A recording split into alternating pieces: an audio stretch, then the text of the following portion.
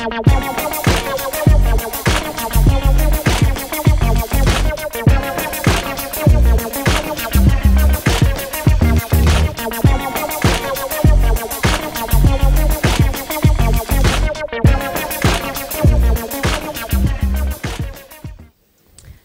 à tous. Euh, je suis ravie de venir vous faire aujourd'hui un petit retour d'expérience sur comment on gère euh, des gros clients euh, au sein de notre agence, comment on travaille sur des, projets WordPress pour des, gros clients.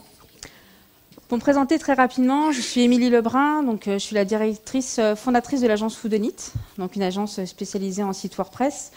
On a lancé notre agence en 2009. Euh, en parallèle de l'agence, euh, j'ai fondé l'association VP Next, qui est donc une association qui a pour but la professionnalisation euh, des métiers sur WordPress. Et j'anime également un blog dédié à l'actualité professionnelle autour de WordPress. Donc vous pouvez voir, je répète beaucoup le mot WordPress. J'aime beaucoup WordPress, je respire WordPress, et donc du coup je suis très contente de venir aujourd'hui parler WordPress avec vous. Et là où j'ai de la chance, et en fait où on a tous de la chance quand aujourd'hui on aime WordPress, c'est que bah, nos clients aussi aiment WordPress. C'est-à-dire qu'aujourd'hui, ce n'est pas nous en tant qu'agence qui proposons WordPress à nos clients, c'est eux qui viennent nous chercher parce qu'ils cherchent un prestataire WordPress, ils aiment WordPress, ils souhaitent leur projet sur WordPress. Quand on a commencé euh, à s'intéresser à ce CMS, c'était en 2009-2010, euh, on avait commencé à tester Joomla, un premier CMS, et on avait commencé à tester WordPress, qu'on trouvait plutôt intéressant.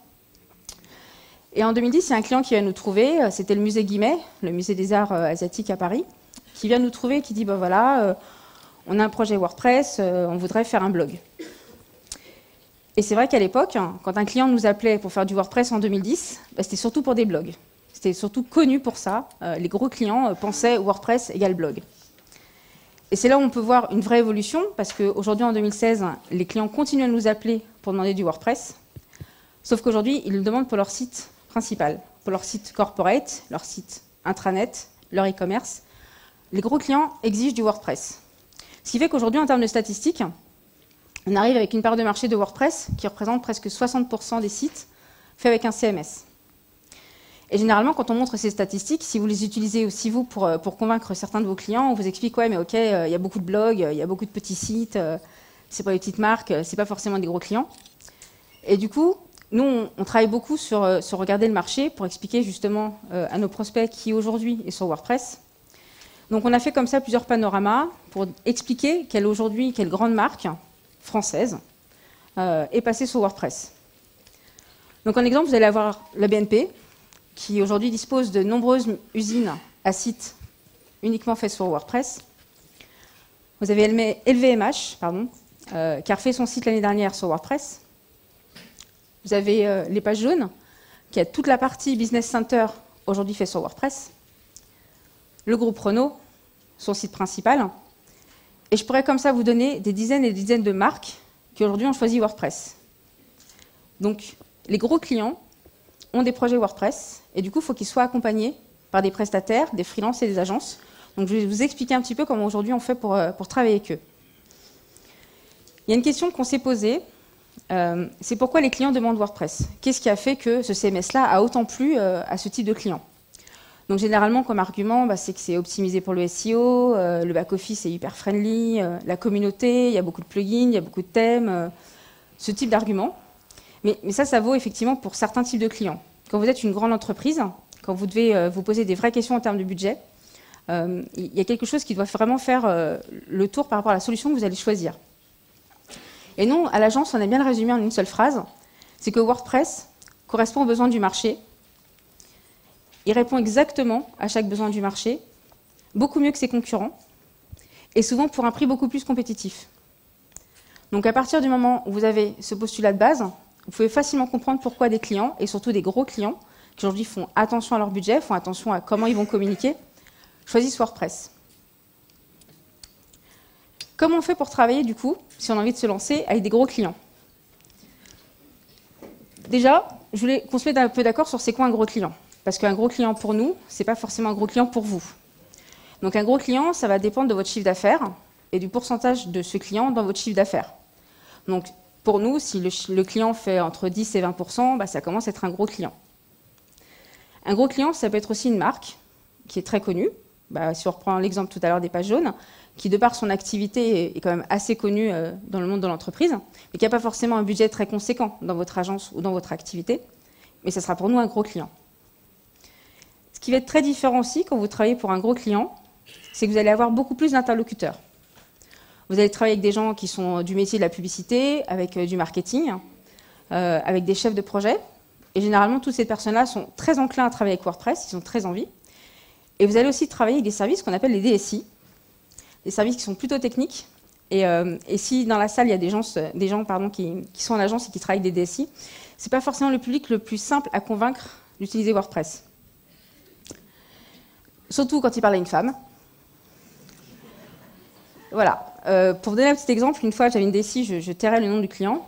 Euh, on devait justement leur expliquer qu'il fallait une interface de pré-production pour pouvoir tester comme ça les mises à jour, etc.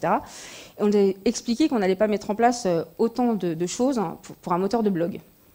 Donc on sent qu'il y a quand même toujours, par rapport au DSI, par rapport à les gens ultra techniques, une vraie réticence à WordPress. Et c'est pour ça qu'on communique énormément, qu'on fait des conférences, qu'on monte des associations pour justement expliquer avec des arguments métiers à ces gens-là l'intérêt de WordPress et pourquoi ça fonctionne très bien. Du coup, si on a envie de travailler avec ces gros clients, Comment on fait pour les trouver? Comment aujourd'hui on fait pour, pour, trouver des gros clients Est-ce qu'on euh, prend un commercial qui va faire du phoning, euh, faire des listings? Chacun a sa technique. En tout cas, nous, ce qui a fonctionné pour nous, euh, depuis maintenant presque 7 ans, ça tient en trois leviers. On a choisi d'être visible, crédible et spécialisé. Donc visible, ça veut dire que quand un client va chercher une agence WordPress, parce qu'effectivement, ces gros clients tape aujourd'hui dans des moteurs de recherche agence WordPress, il va falloir qu'on soit visible. Une fois qu'on est visible, il faut qu'on soit crédible.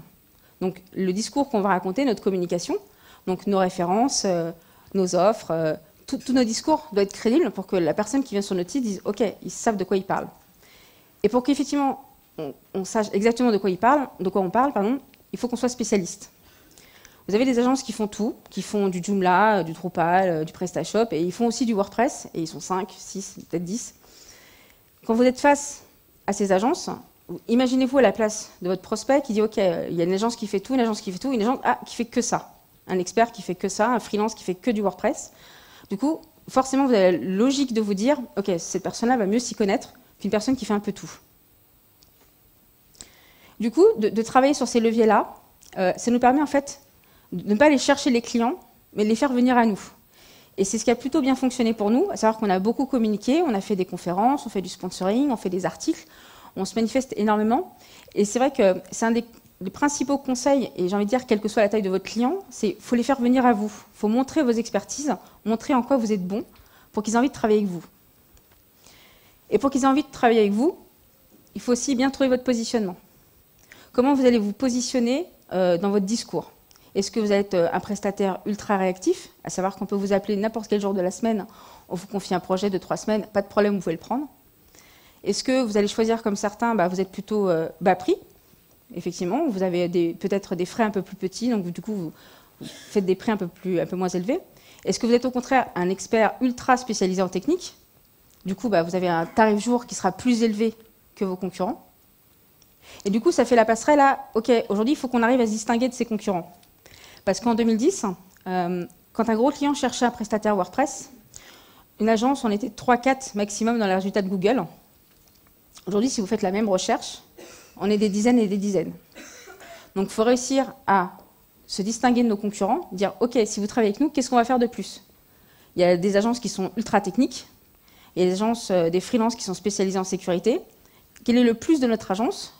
Nous, on s'est décidé de dire, OK, nous, notre truc, c'est le marketing, c'est l'accompagnement, c'est plus que WordPress. C'est important aujourd'hui, euh, et ça sera de plus en plus demain, parce que comme WordPress gagne de plus en plus de parts de marché et qu'on est de plus en plus nombreux à choisir ce métier, de réussir à distinguer nos concurrents. La question qu'on s'est posée quand on a commencé à travailler avec eux, c'est pourquoi travailler pour des gros clients? Pourquoi? Parce qu'on tentait les plus petits et les plus simples. Quand on a signé notre premier vrai gros client, à l'agence, on était plutôt contents. Et on s'est dit, c'est le début de la gloire. C'est super, on a signé une grosse marque, c'est super, on va avoir du récurrent, ça va être la fête, des gros budgets, euh, l'éclat total, euh, voilà, c'est bon, on est, on est lancé. Mais en fait, malheureusement, c'est pas aussi cool que ça. il y a quand même des avantages à travailler pour des gros clients. Le principal, c'est qu'ils ont souvent les projets les plus intéressants. C'est souvent eux qui vont le plus vous challenger, parce que par rapport euh, à leurs besoins, par rapport à ce qu'ils ont besoin de véhiculer comme communication, par rapport à leurs exigences techniques, leurs exigences en termes de conseils, euh, ce seront souvent les projets les plus intéressants sur lesquels travailler. Travailler pour des gros clients, ça vous permet de bénéficier de vraies références. Et les références attirent les moyens et les petits qui se disent que, OK, si cette marque-là, si cette agence-là, ce freelance-là a déjà travaillé pour ce client-là, bah, c'est que ça tient la route. Du coup, ça va vous aider de la même façon en travaillant votre visibilité à trouver de nouveaux clients. Ils ont quand même du budget. Ils sont un peu moins effrayés que des plus petits clients dès qu'on parle tarif jour homme, dès qu'on parle le budget qui, qui, remonte à 50, 60, 100 000 euros pour un budget, pour un client. Et ce qui nous a, en tout cas, nous, le plus intéressé, et qui est très important à trouver dans notre métier, c'est ce qu'on appelle le récurrent. Donc, quand vous travaillez pour un gros client, vous avez deux types de récurrents. Vous avez la chance de travailler pour un métier, par exemple la BNP, qui va centraliser les demandes de tous les services, et qui du coup vont vous appeler régulièrement. Voilà, on a le service A pour tel produit, on a le service B pour tel produit, on a besoin de nouveaux sites événementiels. Du coup, vous avez ce récurrent qui vient régulièrement dans votre agence. Et le second récurrent, c'est tout ce qui est partie maintenance. Parce que les gros clients ont plus l'habitude qu'on leur parle maintenance, et ils ont même tendance à acheter directement la maintenance quand ils prennent le site. Ils ont l'habitude d'entendre parler de maintenance évolutive, de mise à jour de WordPress. Du coup, vous avez ce récurrent-là qui peut tomber toute l'année. Ça vous évite de faire à chaque fois des nouveaux devis. Ça rentre dans un budget global, annuel. Du coup, vous vous assurez déjà votre chiffre d'affaires. Et vous avez comme ça ce récurrent qui arrive comme ça tous les mois. La question qu'on s'est aussi posée, c'est pourquoi ces, gros clients maintenant travaillent avec des plus petits? Pourquoi ces marques comme les pages jaunes travaillent avec des freelances? Pourquoi ils ont arrêté de travailler avec des grosses agences? Bah, Parce que les grosses agences ne sont pas spécialistes. Ils savent très bien que s'ils vont faire appel à une agence comme Tequila Rapido ou Octave et Octave, bah, ils vont sous-traiter ce travail-là à une autre agence qui sera, elle, spécialisée. Du coup, bah, si on peut gagner un intermédiaire, autant le faire. Ils sont aussi avides de conseils. Ils ont choisi WordPress et qui d'autre qu'une agence spécialisée en WordPress va leur apporter le meilleur conseil? Ce n'est pas une agence spécialisée en communication, ce n'est pas une agence spécialisée en marketing qui va le plus, les mieux accompagner sur WordPress. La partie qui, je pense, va pas mal vous intéresser, c'est comment on fait pour deviser un projet pour des gros clients. Il y a une petite différence qui s'applique, euh, une petite méthodologie euh, qui nous diffère vraiment des petits et des moyens. C'est qu'il va falloir tenir compte de d'autres éléments que juste notre tarif jour-homme. Les gros clients vont généralement vous demander énormément de réactivité. On a des gros clients qui nous appellent le lundi pour des sites à faire la semaine d'après. Ils sont extrêmement exigeants en termes de réactivité. Ils vont nous demander beaucoup plus de déplacements. Comme vous avez plus d'interlocuteurs, du coup, vous, devez vous déplacer plus souvent, voir plus de personnes, plus de réunions, plus de livrables. Vous faites intervenir plus de profils, et ça, c'est super intéressant parce que du coup, vous pouvez faire intervenir des gens ultra spécialisés en SEO, en sécurité, euh, sur du cache serveur. Vous pouvez faire travailler beaucoup plus de profils parce que c'est des projets beaucoup plus conséquents. Vous avez une partie conseil, parce que du coup, ils sont avides de conseils, ils ont envie de travailler avec des experts, du coup, ils vont beaucoup vous écouter. Et ça, c'est ultra valorisant. Et du coup, ça se paye. Il faut en tenir compte dans votre prix, parce qu'ils payent un expert. Il ne faut pas se brader. L'exposition du projet, euh, c'est quelque chose qui parle pas forcément à tout le monde ici, mais c'est le plus subjectif. Quand on parle d'un devis, euh, c'est un peu ce qu'on peut appeler la partie valeur. C'est quand vous faites un mini-site pour Canal+, euh, par exemple pour la fin du monde il y a quelques années, vous savez que l'exposition de ce projet va être conséquente. C'est-à-dire que c'est un projet qui va être énormément vu par rapport à d'autres sites que vous pouvez faire pour d'autres clients. Du coup, au téléphone, vous avez des gens qui sont ultra stressés. Parce que c'est vital. Le site pour eux est totalement vital. Donc, il faut en tenir compte dans votre prix. Parce qu'il va falloir tenir le coup. Et généralement, pour qu'on tienne le coup, il faut que ça nous rapporte de l'argent. Je trouvais intéressant de vous expliquer un petit peu, vraiment en détail, euh, comment on travaille, nous, euh, nos fiches euh, de devis. Voilà ce qu'on travaille quand un client vient vers nous pour nous demander un devis. On a déjà, on lui explique voilà, les différentes étapes. Donc il y a la partie cadrage, la partie conception graphique, la partie production technique, la recette, le nombre de jours auxquels ça correspond, le tarif jour homme et le montant global. Ce pas des vrais jours, et c'est juste pour vous montrer. Hein. Ça permet du coup au prospect de bien comprendre, OK, où va passer le budget Qu'est-ce qu'il va exactement acheter ça vous donne un vrai argument de négociation quand le client vous appelle, dit OK, votre concurrent il me propose la même chose pour deux fois moins cher. OK, mais c'est quoi la même chose? Est-ce que c'est le même nombre de jours hommes? Généralement, c'est là où ça change. Et là, vous rentrez dans la négociation. Pardon. C'est bon, je reviens. Petite pause publicitaire. Voilà. Donc vous rentrez dans la négociation de, OK, en face, il y a quelqu'un qui propose trois jours pour une maquette, vous en proposez 10, qui fera la meilleure maquette Pareil pour la partie accompagnement. Vous proposez plus de jours que lui, qui aura le meilleur accompagnement Le tarif jour-homme, pareil, hein, se négocie. Vous pouvez parfaitement expliquer à un prospect, OK, moi je coûte 900 euros, je coûte 800 euros jour, oui, mais parce qu'on est bon. Si vous nous payez cher, c'est parce qu'on est bon. Et mine de rien, en termes d'arguments, ce sont des choses que les clients peuvent entendre. Bien sûr, ces, tarifs jour-homme sont faits aussi par rapport en premier à vos propres charges. Donc, en fonction de la taille de votre structure, du nombre de salariés que vous avez, euh, vous allez adapter ces jours hommes. On n'a effectivement pas tous les mêmes jours hommes tarifs euh, entre les agences, entre un freelance et une agence, etc. Mais en tout cas, c'est important d'en tenir compte quand vous faites votre devis. Ce qui est également important, c'est d'expliquer chaque profil qui va intervenir, dire ben voilà le nombre de personnes qui vont travailler pour vous sur ce projet. Donc si votre projet coûte 50 000 euros, c'est parce qu'on a 10 personnes qui vont travailler pour vous. Et ces 10 personnes, voilà concrètement ce qu'elles vont faire. Elles vont faire un cahier des charges, elles vont faire des maquettes, elles vont faire de l'intégration, du développement. Ça permet de vraiment valoriser tout le travail que vous allez faire pour votre client. Et d'autant plus pour des gros clients qui vont devoir derrière euh, négocier ce budget auprès de leur direction. Ce qui est aussi ultra important pour nous, si je continue, on va faire comme ça, décidément, la technique. Voilà. C'est être précis sur qu'est-ce qu'on vend. Quel va être le périmètre? Combien de maquettes on va faire? Euh, Est-ce que le site sera multilingue? Est-ce qu'il y aura un content builder? Une page d'accueil, une page de contenu? Euh, Sur quelle partie on va leur accompagner sur le conseil? Vraiment détailler un maximum tout ce que vous allez faire pour lui. Et aller jusqu'à qu'est-ce qu'on va faire en termes de Google Analytics? Qu'est-ce qu'on fait en termes de SEO Est-ce qu'on va faire l'audit de mots-clés? Est-ce qu'on va faire des recommandations en termes de mots-clés? Est-ce qu'on va juste correctement intégrer pour avoir les bonnes balises? Est-ce qu'on va mettre en place des redirections? Est-ce qu'on fait un tracking analytics? Est-ce qu'on va faire une formation? Tous ces éléments-là, plus vous êtes précis, plus le client en face est content parce qu'il a l'impression que vraiment vous, vous, avez beaucoup réfléchi à ce projet-là. Et vous, ça vous couvre de la partie, vous savez, quand, vous livrez le projet et qu'on vous dit Ah bon, mais ça, c'était pas inclus. Ah ben non, monsieur, c'était pas inclus, vous l'avez signé.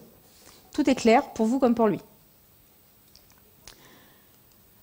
Effectivement, un des points le plus important pour nous, et ça, ça vaut quelle que soit la taille du client, c'est qu'il ne faut jamais rien laisser de flou.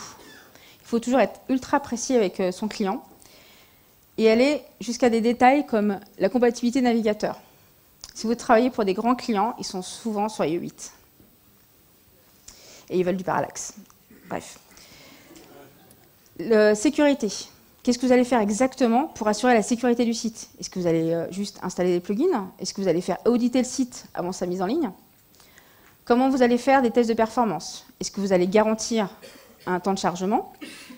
Est-ce que vous allez plutôt euh, garantir une note sur GTmetrix Tous ces éléments-là, donc nous on les met dans un document qui s'appelle un PQP, un plan qualité projet, euh, qu'on remet à notre client pour dire bah voilà tout sur quoi on s'est mis d'accord et tout sur quoi nous on s'engage en termes d'objectifs. Et du coup, en termes de, prix, pour des gros clients, on arrive entre 4 900 euros et 80 000 euros. 4 900 euros, c'est le prix d'un site dans notre agence pour un gros client. Et on peut aller jusqu'à 80 000 euros. 4 900 euros. Et il faut faire euh, vivre 10 personnes. Donc oui, 4900 euros, parce qu'en fait, on a eu des grandes marques qui sont venues nous trouver en disant, voilà, on veut un site WordPress, on n'a pas beaucoup de budget, mais par contre, on a plein de mini-sites à faire sur l'année. Et on s'est posé la question, OK, comment on pourrait accompagner, là, ces clients qui, qui sont des marques intéressantes, avec lesquelles on a envie de travailler, mais qui n'ont pas beaucoup de budget Il y a le côté récurrent qui peut être intéressant, OK, mais faire du sur-mesure, euh, ça coûte cher. Le sur-mesure, ça coûte cher, ok. Et pourquoi on ne travaillerait pas avec des thèmes premium? Et eh ouais. Pourquoi pas proposer des thèmes premium? Un thème premium à 4900 euros, Donc là, vous dites, OK, l'agence, elle prend le thème, elle customise, elle installe, hop, elle le vend à son client, 4900 euros. Ouais, c'est ultra rentable. Parfait. Mais en fait, non.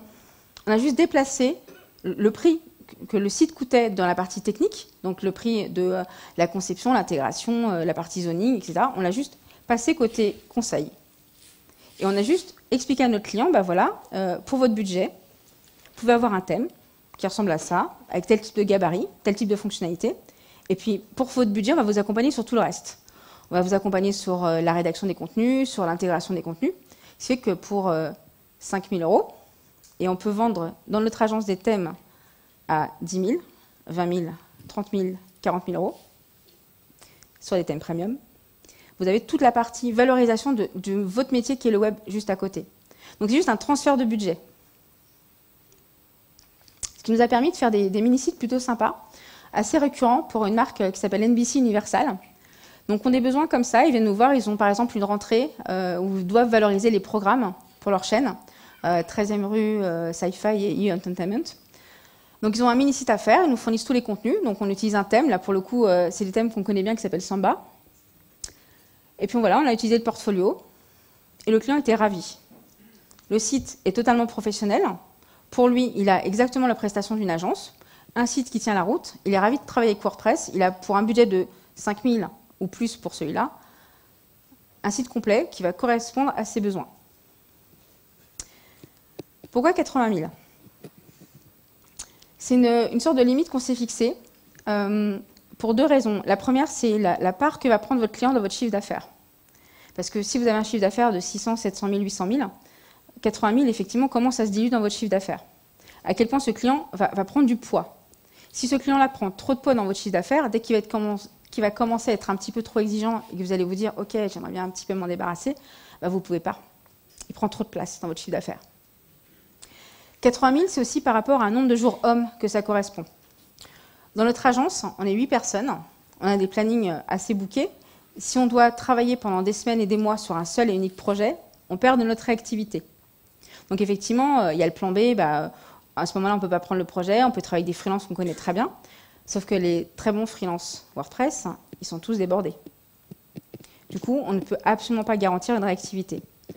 Donc on s'est un peu fixé comme limite, une sorte de plafond, dire ok, on ne va pas aller trop loin non plus dans les budgets, parce qu'on sait qu'on a besoin de garder cette souplesse-là. Et garder de la souplesse, faire attention à ses budgets, c'est surtout s'assurer de sa rentabilité. Et encore une fois, ça, ça vaut quelle que soit la taille de votre client. Pensez en premier à votre rentabilité. Donc, que le temps passé sur le projet correspond à ce qui a été vendu.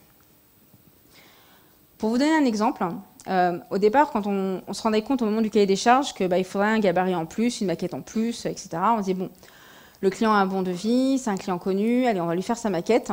Ça nous prendra un peu plus de temps, mais bon, on va le faire. Comme ça, il sera content. Puis on livre le projet, puis pour une raison X ou Y qui n'a absolument rien à voir avec le travail qu'on a fait en plus, il n'est pas content. Donc vous vous retrouvez dans la situation où vous, vous avez fait plus que ce qui était vendu pour un client qui n'est pas content. Pour éviter ce type de situation, on a dit, OK, quand on se rend compte qu'il y a quelque chose en plus, on va aller voir notre client. On va lui dire, voilà, monsieur, par rapport à ce que vous avez signé comme périmètre, par rapport à votre, demande initiale, bah, pour faire bien le travail, il faudrait trois maquettes en plus, telle fonctionnalité en plus. Là, vous avez le choix, bah, soit vous dites à votre client, bah, comme on aime bien travailler avec vous, votre projet est intéressant, etc., on va faire un geste commercial. Du coup, votre client il est ravi parce que vous faites un geste, c'est super. Soit le client accepte, et oui, le client accepte de donner plus de budget parce qu'il déjà il apprécie la démarche de transparence, il apprécie que vous lui montriez que par rapport à ce qui a été signé, validé, il y a des choses en plus. Je vais en venir à un des conseils euh, qui m'a le plus marqué l'année dernière, c'est savoir dire non. Réussir à dire non à un client, c'est très dur. De la même façon, dire non à un prospect, euh, quand vous êtes dans une situation où vous vous rendez compte que bah, votre chiffre d'affaires de ce mois-ci n'est pas forcément aussi élevé que ce que vous avez l'habitude, pas évident de savoir dire non. À quoi on peut dire non? On peut dire non à des délais qui sont impossibles. On peut dire non à un client qui vous semble pas forcément intéressant. Vous savez, ce, petit feeling qu'on a quand on a un client au téléphone, on dit ouais, on le sent pas. Et puis finalement, se dit non, mais c'est moi, j'ai besoin d'argent, allez, on le signe. Et puis le projet se déroule et dit ah ouais, je le sentais pas, j'aurais pas dû. Et le pire, c'est que le temps que vous passez à faire ce projet qui vous exaspère, c'est un temps que vous pourriez utiliser pour aller chercher d'autres clients autrement. Vous auriez pu utiliser pour communiquer, pour, pour aller chercher des clients qui vous, vous intéressent. Et du coup, maintenant vous avez choisi ce client-là, vous n'avez pas réussi à dire non. Dire non, euh, c'est aussi par rapport à une autre typologie de clients qui, qui viennent de plus en plus aujourd'hui dans notre agence. Comme les gros clients aiment WordPress, il y a toujours l'expert WordPress côté client. Quelqu'un qui sait autant que vous comment on fait un site WordPress, quel plugin utiliser. Ah ça j'adore, le client qui m'explique, bah voilà, vous allez utiliser pour mon multisite euh, telle solution, pour euh, mon multilangue VPML, etc. Ok, mais nous on n'est pas forcément d'accord. Parce qu'en fait, nous c'est notre métier. Nous on fait des sites depuis des années, on sait avec quel plugin travailler, on sait avec quel plugin on ne veut pas travailler, on sait comment ça fonctionne. Et dire non à ce type de client, c'est compliqué. Parce qu'il ne faut pas le froisser. Il ne faut pas lui expliquer que, bah non, monsieur, on s'y connaît mieux que vous, vous êtes gentil, mais non. La pédagogie, euh, le bon discours est important pour vraiment vous positionner, vous, en tant que spécialiste. C'est vous qui connaissez WordPress et pas lui. Sinon, lui, il a une agence WordPress. Et j'en reviens à un, conseil qui m'a beaucoup marqué. Euh, lorsque j'étais au WordCamp Europe euh, à Sofia, c'était il y a deux ans, une conférence de Chris Lema, que vous voyez juste après moi dans une autre conférence, qui, qui nous expliquait comment aujourd'hui être un professionnel de WordPress. Donc j'ai mis les petites ballerines, euh, parce que franchement, cette conférence, elle tient pendant 40 minutes avec des, ballerines et des tutus sur comment être un professionnel WordPress. Ça vaut vraiment le coup. Et il vous explique voilà, tous les, bons réflexes à avoir pour vraiment conserver cette position d'expert, de, spécialiste. Ça va passer par plein de réflexes. En premier, par le discours que vous avez auprès de vos clients. Comment réagir quand un client vient vous demander une demande improbable? Comment réagir euh, quand vous êtes hors délai?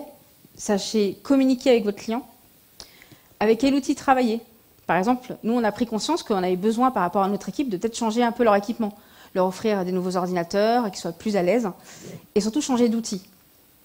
Parce qu'on travaille beaucoup en télétravail, euh, donc on avait besoin que le travail soit fluidifié.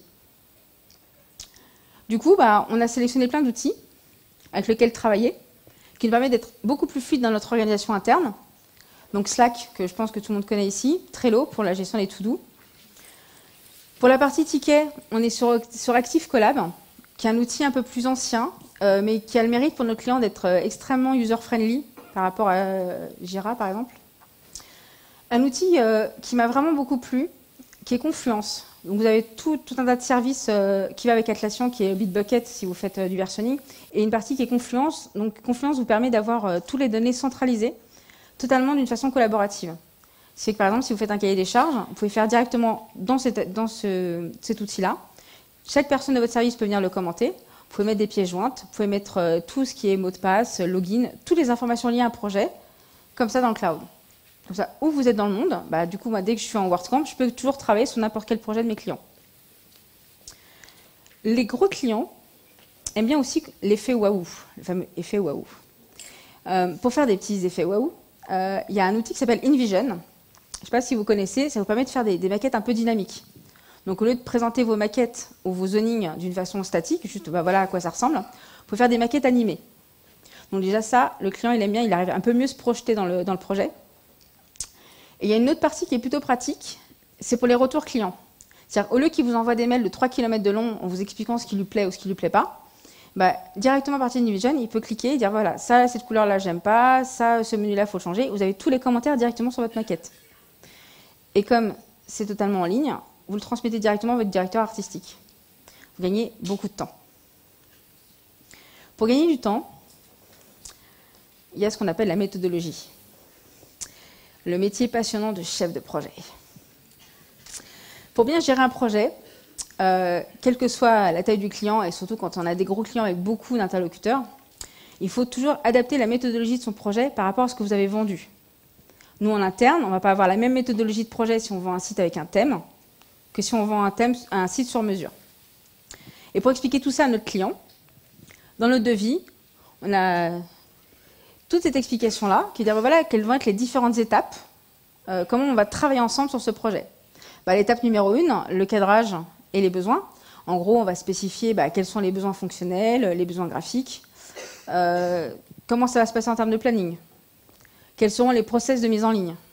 Parce que quand vous travaillez pour des gros clients, les process de mise en ligne sont très différents. Vous allez par exemple pas pouvoir vous-même mettre en ligne directement les fichiers. Vous allez travailler avec un service technique, peut-être utiliser un Git. plein de choses comme ça qu'il faut envisager dès le début du projet. Vous allez aussi parler avec eux planning. Un conseil, je sais que ça peut être vraiment euh, parfois rébarbatif, mettez toujours à jour vos plannings, surtout quand c'est côté client. Parce qu'on a tendance à pas toujours le faire, pas toujours être rigoureux.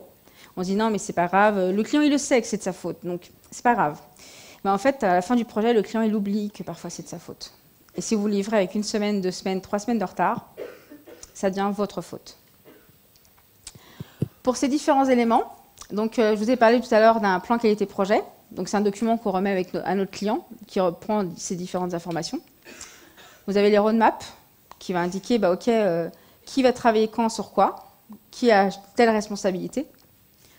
Vous allez avoir tout ce qui est réunion et les comptes rendus. Quel beau métier, la gestion de projet. L'étape d'après, ça va être vraiment toute la partie conception fonctionnelle. Donc là, c'est le moment où on dit, OK, euh, comment on va réaliser le site? Quel thème on va sélectionner? Quel plugin on va utiliser? Euh, Le nombre de gabarits. Donc par exemple, si j'utilise un thème premium, euh, quels sont les gabarits du thème premium que je vais récupérer? Vous allez pouvoir aussi dire sur quelle maquette vous allez travailler. Donc par exemple, sur un thème premium, on va faire, exemple, juste une page d'accueil et une page d'intérieur type. Donc, ce qu'on va livrer à notre client, on va lui dire, bah voilà, quand on en sera là dans notre travail, on va vous livrer bah, les maquettes et les spécifications fonctionnelles pour juste expliquer bah, voilà, comment va fonctionner le site. L'étape d'après, où le client intervient beaucoup moins, c'est la partie euh, réalisation technique. Donc là où le développeur et l'intégrateur travaillent pour finaliser le site. Et la dernière étape, qui est la partie formation et recettes. La recette du client est souvent la partie la plus périlleuse. Parce que déjà, il faut lui expliquer en quoi consiste la recette. Comment il va recéter le site Est-ce qu'il commence par le front Est-ce qu'il commence par le back Est-ce qu'il fait les deux en même temps Donc on avait testé comme ça de livrer des cahiers de recettes hein, qui nous prennent un temps fou de, faire le nombre de, cas possibles et inimaginables. Et, au final, une bonne recette client passe souvent par une bonne pédagogie. Donc déjà un premier rendez-vous client pour dire bah voilà, on vous livre le site, voilà comment il fonctionne. Testez en premier bah, le back-office, que tout remonte bien en front-office. Et puis après, regardez l'affichage. Et puis vous allez nous faire des tickets bah, par device. Donc Internet Explorer, euh, sur un desktop ou sur mobile, telle version de, de mobile. La partie formation, avec la rédaction éventuellement d'un guide d'utilisation. Et la partie mise en ligne, où on livre le site final.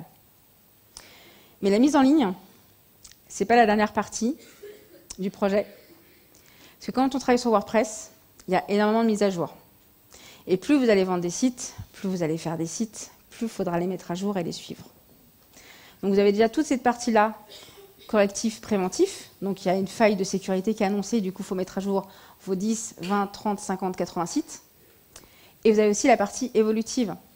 Oui, parce qu'au début, je vous ai parlé du récurrent. Du coup, bah, les clients, ils veulent un nouveau formulaire, euh, etc la gestion de, ce, double workflow euh, est le plus complexe, en tout cas en interne. Et pour être honnête, on n'a pas encore trouvé la, parfaite recette pour que ça fonctionne. On a testé de dire, bon, ok, certains jours, on fait que de la maintenance, et certains jours, on fait du projet. mais du coup, euh, vous avez votre intégrateur, votre DevFront qui est lancé, euh, il travaille un jour, deux jours, ah, il doit s'arrêter parce qu'il faut qu'il fasse de la maintenance. Il fait du ticket toute la journée. Ça ne fonctionnait pas forcément très bien. En plus, en termes de fluidité, ça veut dire que bah, on expliquait à notre client, bah, désolé, vous avez passé votre tour, faut attendre la semaine d'après. Ah, la semaine d'après, c'est déjà complet. Bref, ça fonctionnait pas forcément très bien. On a testé autrement, et dire que chaque jour, il y a un temps dédié à la journée pour traiter les tickets. Donc, admettons, euh, bah, tous les matins, euh, votre devback, il va traiter tant de tickets de 10h euh, à midi, par exemple. du coup, il a beaucoup moins de temps dans sa journée pour traiter les projets. Il n'y a pas aujourd'hui, en tout cas pour nous, euh, de recettes miracles par rapport à ça. On a testé plein de façons différentes. Et euh, je serais ravie d'avoir des retours d'expérience d'agence euh, ou même de, freelance qui ont un bon workflow par rapport à ça, parce que ce n'est pas évident.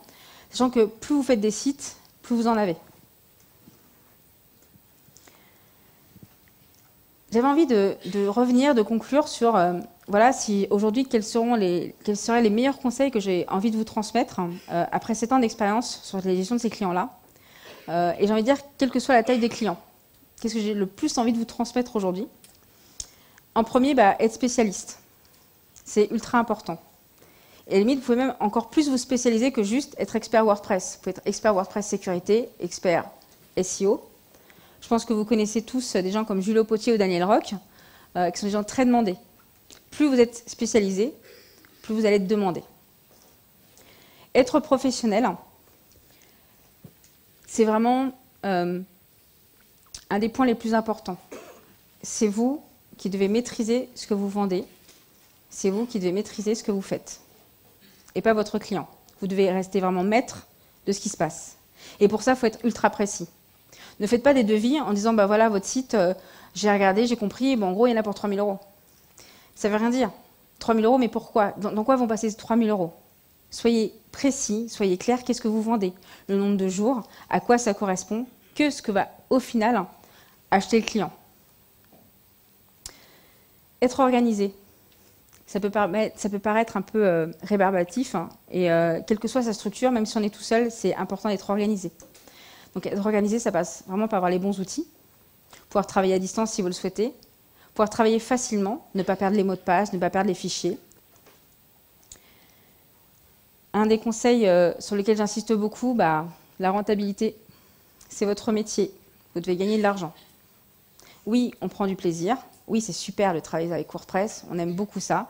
Mais vous êtes là pour gagner votre vie. Et non pour faire plaisir à votre client. La rentabilité est ultra importante. Et pour travailler sereinement, faire plaisir aussi à votre client et surtout à vous, apprenez à dire non. Apprenez à dire non par rapport à des choses que vous ne savez pas faire. J'ai envie de vous parler d'une petite expérience qu'on a pu avoir, euh, c'était il y a trois ans. On n'a pas su dire non. On avait ben, le client dont je vous ai parlé, euh, NBC, qui nous a confié un projet, ça avait l'air super intéressant. Euh, il y avait une émission à la télé, et en même temps qu'il y avait l'émission qui était diffusée, bah, nous, on pouvait en même temps jouer sur le site internet. Donc si c'est super, ça va être un, site ultra vu, génial. Ok, donc faut faire quoi Le site, le conseil, le contenu, bon ça on sait faire, l'hébergement, ouais, bon, l'hébergement, l'héberger site, pas de problème. Bon, on avait un peu de doute quand même, on s'est dit bon, l'émission va être diffusée à la télé. Bon, on va prendre quelqu'un euh, qui a l'air à peu près de s'y connaître en hébergement, on le connaît bien, on bosse déjà un peu avec lui, on va bosser avec lui. Et puis le client nous dit, euh, être une super idée, vous allez venir dans, nos bureaux le jour de la diffusion de l'émission. Génial, ouais, super. Donc on a été tout contents avec nos ordinateurs et tout. L'émission commence. On avait un système avec 8 serveurs à peu près. Et là, l'émission commence et vous voyez le premier serveur qui s'éteint, le deuxième, le troisième. Et là, vous voyez votre client qui commence à faire des tours comme ça dans la pièce. Votre freelance qui est avec vous qui est blanc comme un linge. Et là, vous dites, on est mal, on est mal. Non, mais c'est bon, ça va continuer à tenir. Et, on commence, il y, a le Facebook à côté, on commence à se faire insulter. Quelle est l'agence qui a fait ce site qui fonctionne pas du tout? Et là, on est mal. Le quatrième serveur tombe, le cinquième, le sixième, et ils sont tous tombés. Et là, vous prenez une claque monumentale. Et ok, j'aurais dû dire non. J'aurais dû dire ok, faire votre site, je sais faire. Je peux vous accompagner là-dessus, pas de problème. Par contre, ce type d'hébergement, on l'a jamais fait. Et soit vous connaissez quelqu'un qui est ultra spécialiste et qui saura faire, soit nous, on ne pourra pas vous accompagner là-dessus. Et ce qui est marrant, c'est que ce client-là, on ne l'a pas perdu pour autant. Comme quoi, savoir être professionnel, c'est savoir aussi reconnaître et dire à son client, bah, effectivement, on n'aurait pas dû dire oui. Mais vous savez du coup sur quoi vous pouvez nous interroger, sur quoi on est bon. Merci.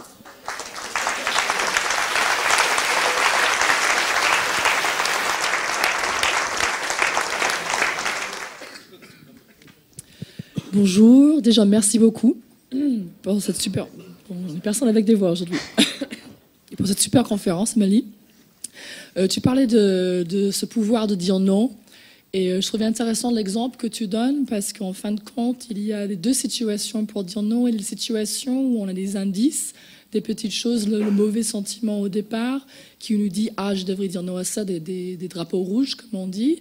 Mais là dans ces cas, en fait, on a l'impression que c'était pas trop ça. Au contraire, c'était quelque chose que vous, vous vouliez faire, et c'était en rétrospect que vous vous êtes rendu compte qu'à non finalement on, aurait dû. Donc, est-ce que tu peux nous parler un peu de la différence de ces deux cas de figure et comment tu vas prendre du coup Parce qu'il y a des choses qu'on ne peut pas forcément prévoir, c'est juste en rétrospect qu'on se rend compte.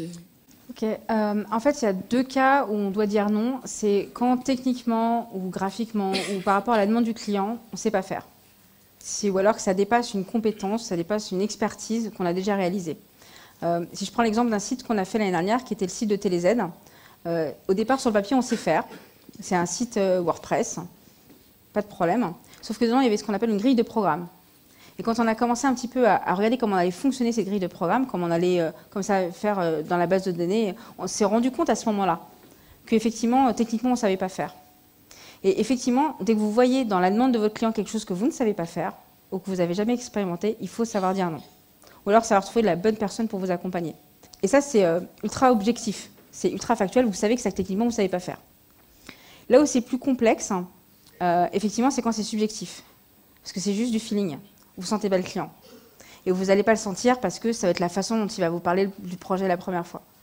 Mais on a cette petite voix en nous, euh, je pense que tout le monde ici l'a déjà euh, un jour entendu, c'est vous savez qu'il ne faut pas le prendre. Et effectivement, c'est deux cas très différents.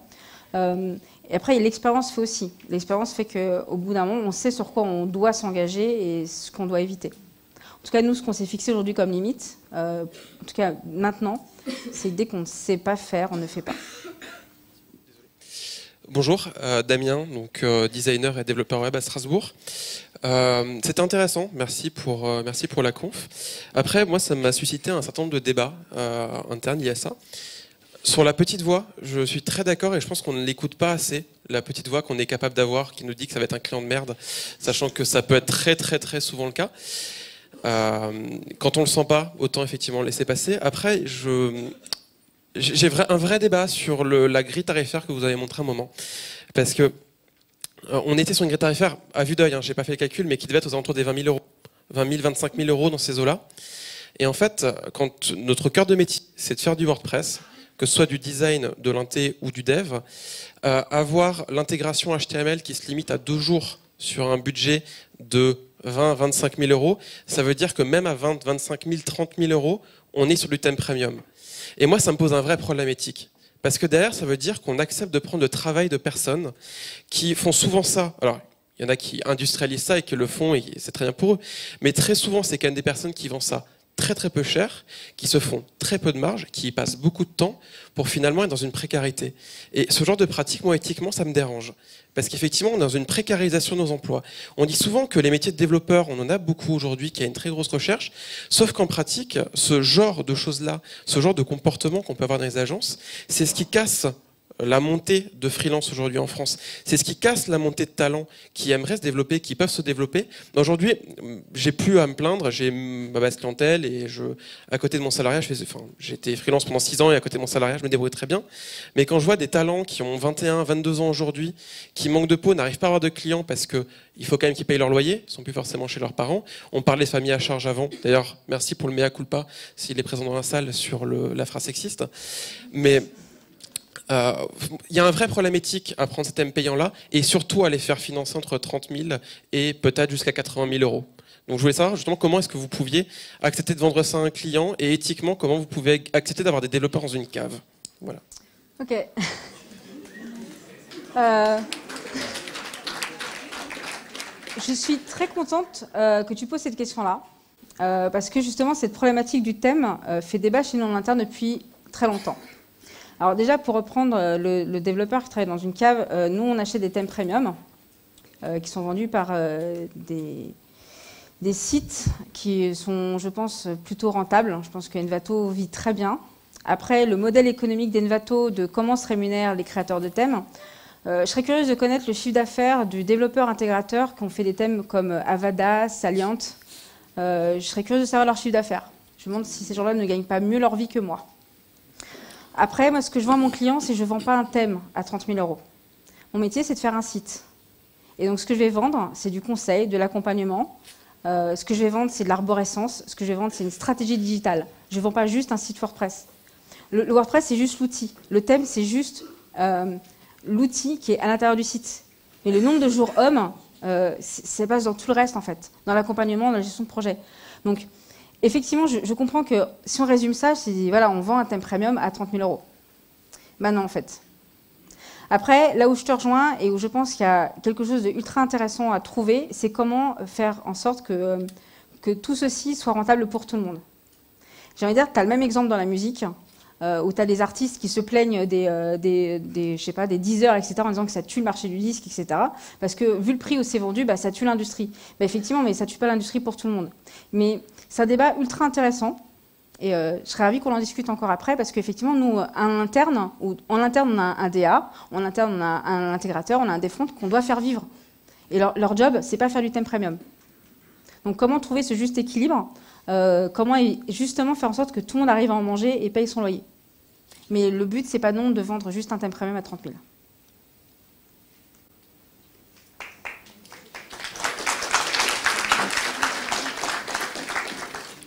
Bonjour. Euh, bon, merci pour la présentation. Euh, bah, pour le coup, en fait, j'avais juste, je voulais juste parler de la TMA. Mais effectivement, enfin, moi, je suis chef de projet web bon, pour une SS2I. Ne tapez pas dessus.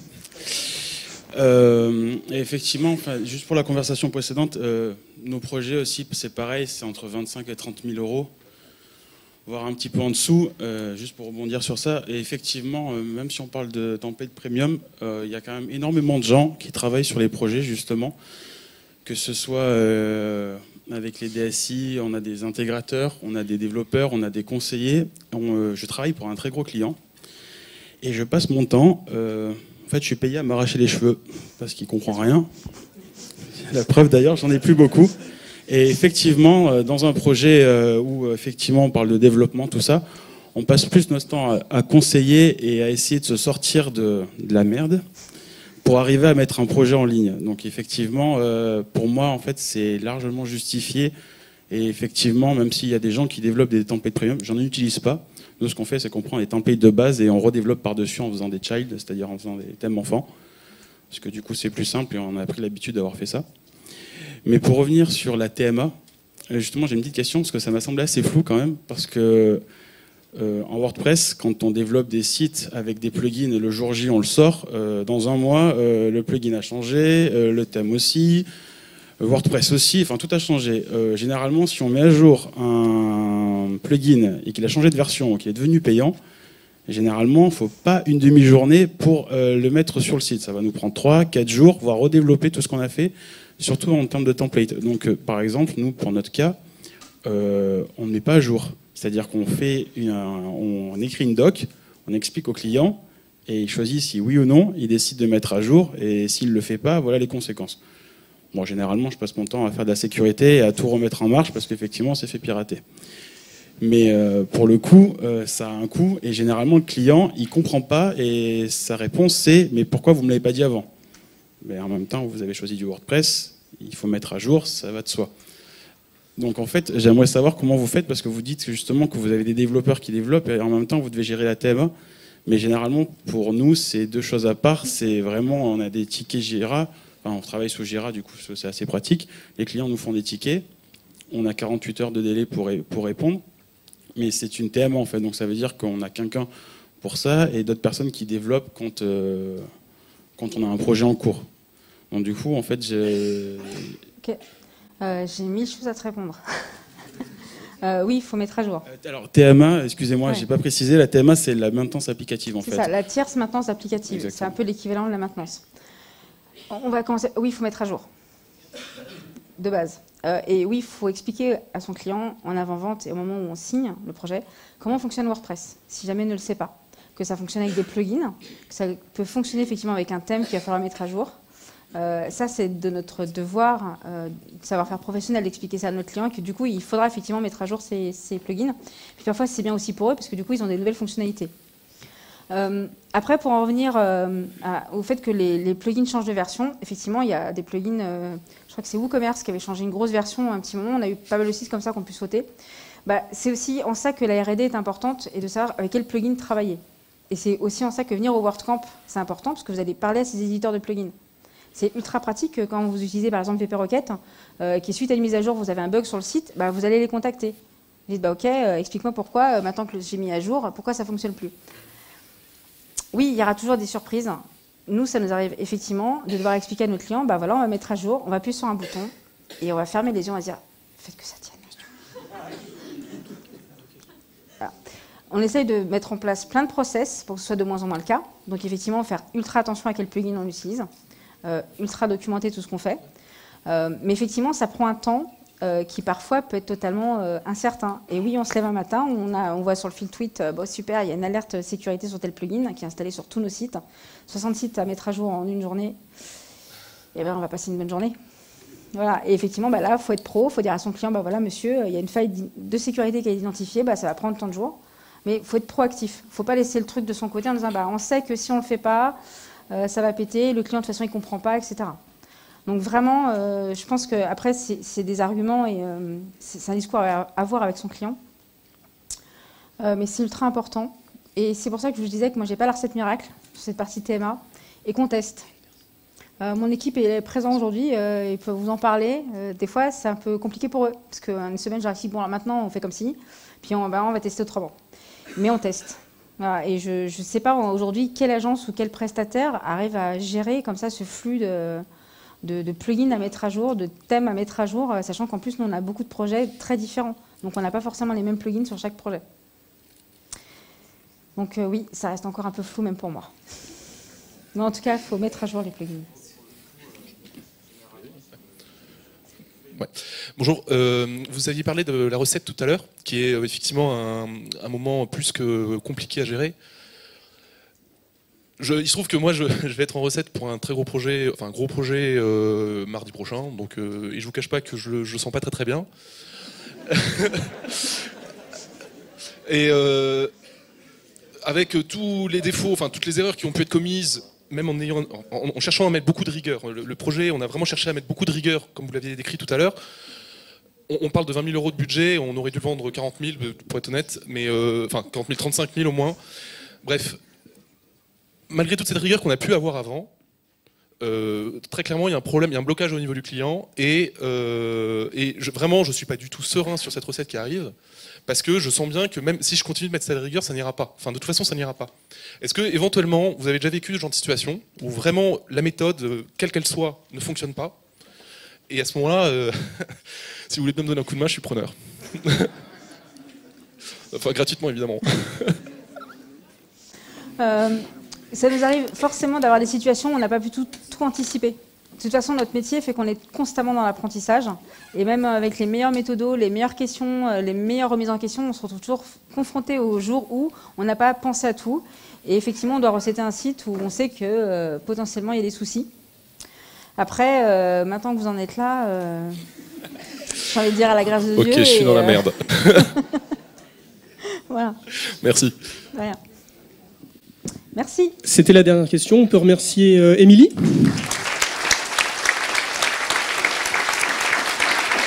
Merci beaucoup.